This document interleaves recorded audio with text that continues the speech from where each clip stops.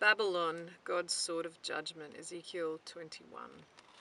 The word of the Lord came to me Son of man, set your face against Jerusalem and preach against the sanctuary. Prophesy against the land of Israel and say to her, This is what the, Lord says I am against you. I will draw my sword from its scabbard and cut off from you both the righteous and the wicked. Because I am going to cut off the righteous and the wicked, my sword will be unsheathed against everyone from south to north, and all people will know that I am the Lord, have drawn my sword from its scabbard.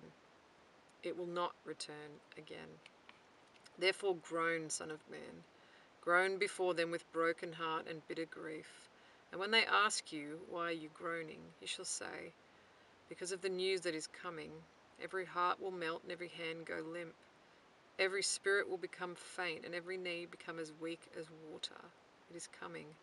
It will surely take place, declares the sovereign Lord. The word of the Lord came to me Son of man, prophesy and say, This is what the Lord says A sword, a sword, sharpened and polished, sharpened for the slaughter, polished to flash like lightning. Shall we rejoice in the sceptre of my son Judah? The sword despises every such stick. The sword is appointed to be polished, to be grasped with the hand. It is sharpened and polished, made ready for the hand of the slayer. Cry out and wail, Son of Man, for it is against my people, it is against all the princes of Israel.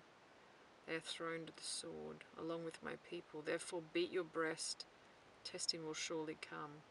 And what if the sceptre of Judah, which the sword despises, did not continue, declares the sovereign Lord? So then, Son of Man, prophesy and strike your hands together.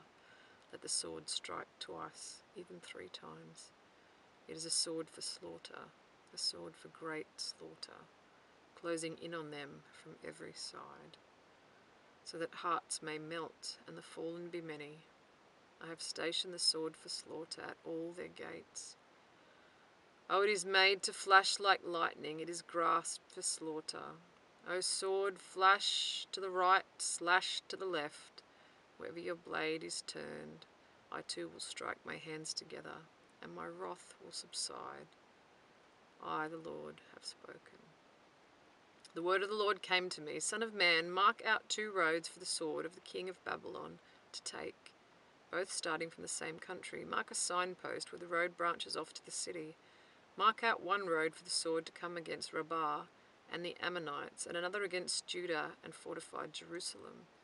For the king of Babylon will stop at the fork in the road at the junction of the two posts to seek an omen. He will cast lots with arrows and he'll consult his idols. Into his right hand will come the lot for Jerusalem, where he is to set up battering rams, to give the command to slaughter, to sound the battle cry, to set up battering rams against the gates, to build a ramp, and to erect siege works. It will seem like a false omen to those who have sworn allegiance to him, but he will remind them of their guilt and take them captive. Therefore, this is what the sovereign Lord says. Because you people have brought to mind your guilt by your open rebellion, revealing your sins in all that you do, because you have done this, you will be taken captive. O profane and wicked princes of Israel, whose day has come, whose time of punishment has reached its climax. This is what the sovereign Lord says Take off the turban, remove the crown. It will not be as it was.